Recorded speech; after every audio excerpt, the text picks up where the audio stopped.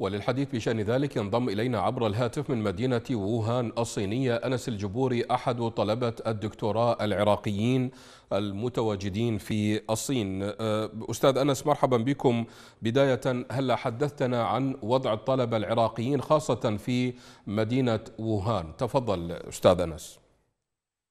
السلام عليكم ورحمة الله السلام ورحمة الله. مشكور القناة. تفضل أستاذ أنس. طبعا هنا إحنا هنا في مدينة ووهان 66 طالب. هذه المدينة أغلقت قبل 12 يوما. المدينة معزولة عن العالم بشكل تام. تم إغلاق المحال التجارية والأسواق بنسبة 99% طبعا إحنا هنا نعيش إحنا وعوائلنا بين تقريبا خمس عوائل. 15 طفل بيناتنا. نعيش حالة من الخوف والرعب في ظل في ظل تزايد الأعداد المصابين. تزيد كل يوم بنسبة تقريبا 2000 إصابة. لحد الآن بلغت نسبة الإصابات تقريبا 14000 إصابة. والعدد في تزايد مستمر. طلب طبعا الطلبة العراقيين ولله الحمد لحد الآن لم يصابوا بهذا. والجميع بصحة جيدة جدا لم تسجل بين بينهم أي إصابة. طيب. إحنا نحن لم نتصل بال... لم يكن لنا لدينا تماس مع مع الصينيين واكلنا طبعا معزول. ولا نأكل من الأطعمة الموجودة والمباعه في الأسواق الصينية. تواصلنا مع السفاره العراقية في بكين منذ تقريبا أكثر من عشرة أيام. وتم إعلامنا بأنه تم استحصال الموافقات من الجانب الصيني. لغرض نقلنا إلى العراق وتم على الأساس أنه مجموعة من أو فريق طبي لغرض فحص فحصنا ونقلنا إلى العراق. وجئنا ليلة أمس أنه تم إلغاء عملية الإجلاء.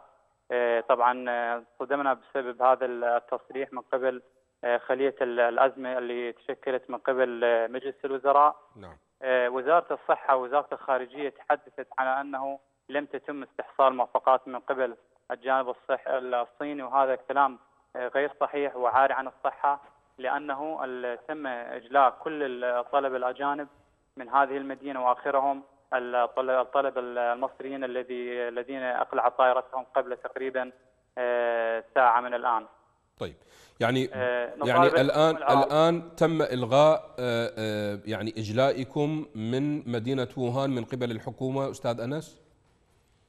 أي نعم نعم. تم تبليغنا من قبل السفارة أنه تم إلغاء عملية الإجلاء. وطبعا الإسباب غير معروفة وغير مقنعة وليس لها أي أساس من الصحة.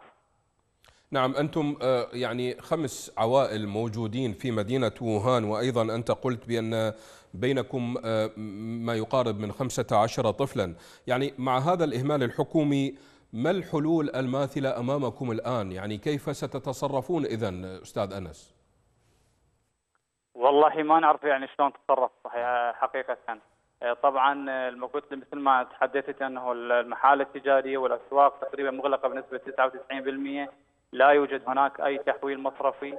كل المصارف والبنوك مغلقة لا يمكن تحويل المبالغ من العراق إلى إلينا إلى هنا.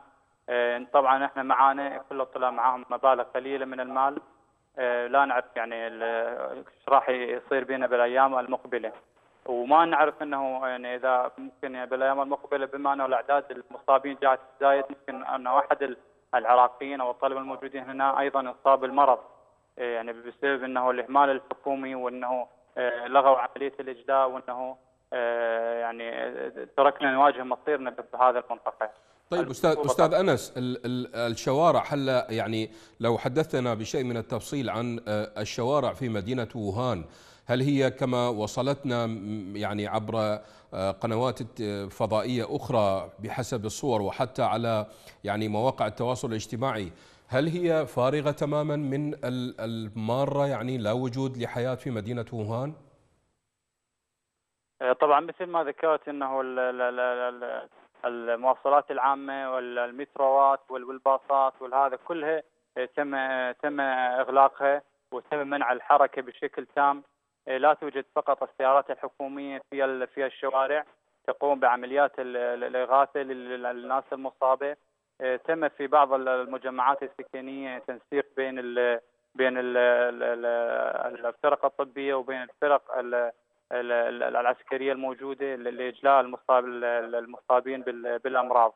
نعم. طبعا الحركة تقريبا تكون شبه معدومة آه، بعض المارة يعني آه، الذين يذهبون إلى الأسواق اللي هي قليلة جدا نعم. يذهبون إلى التسوق ثم يرجعون إلى بيوتهم الحركة تكون تكاد تكون معدومة في هذه المدينة.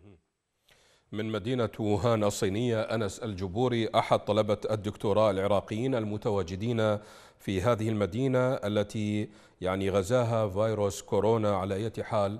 آه، شكرا جزيلا لكم أنس الجبوري.